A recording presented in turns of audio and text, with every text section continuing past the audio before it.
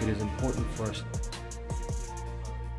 क्या आप जानते हैं कि Saudi crown prince bin Salman ने नियोम मेगा सिटी से पहले एक ऐसा जादुई शहर बसाया है, जिसकी कल्पना हम और आप सिर्फ़ सपनों में ही कर सकते हैं। इस शहर के अंदर सारी टेक्नोलॉजी लगा दी गई है। होटल की छतें ऑटोमेटिक खुलती और बंद भी होती हैं। ये शहर लाल सागर के नीले पानी के एक आइलैंड पर बना है, जिसका नाम सिंधला है। आपको जानकर हैरानी होगी कि Saudi crown prince bin Salman ने रेगिस्तान में बसाया इस शहर की लंबाई चौड़ाई। लंदन से 17 गुना बड़ा है।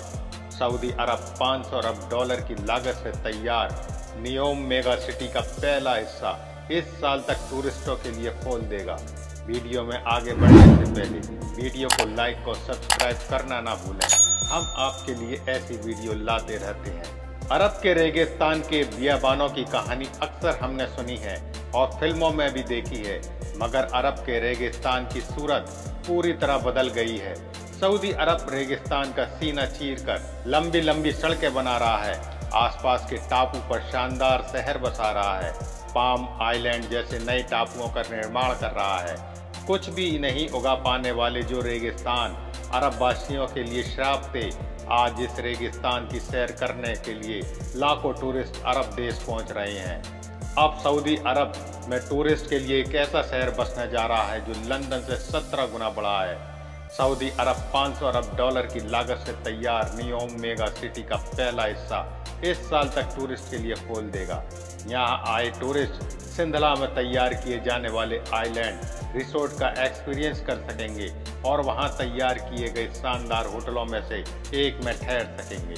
500 बिलियन डॉलर की Neom mega city prince Mohammed bin Salman के ड्रीम प्रोजेक्ट में से एक है। क्या आप जानते हैं कि प्रिंस का सपना मेगा सिटी का एक हिस्सा ये सिंधला आइलैंड भी है?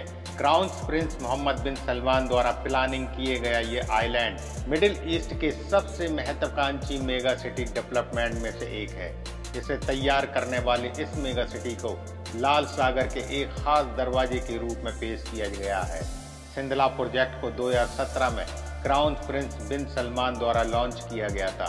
पूरी तरह तैयार हो जाने के बाद ये स्मार्ट सिटी 26,500 वर्ग किलोमीटर में फैल जाएगी जो लंदन के आकार का लगभग 17 गुना बड़ा है। इस शहर में क्या क्या खासियतें होंगी?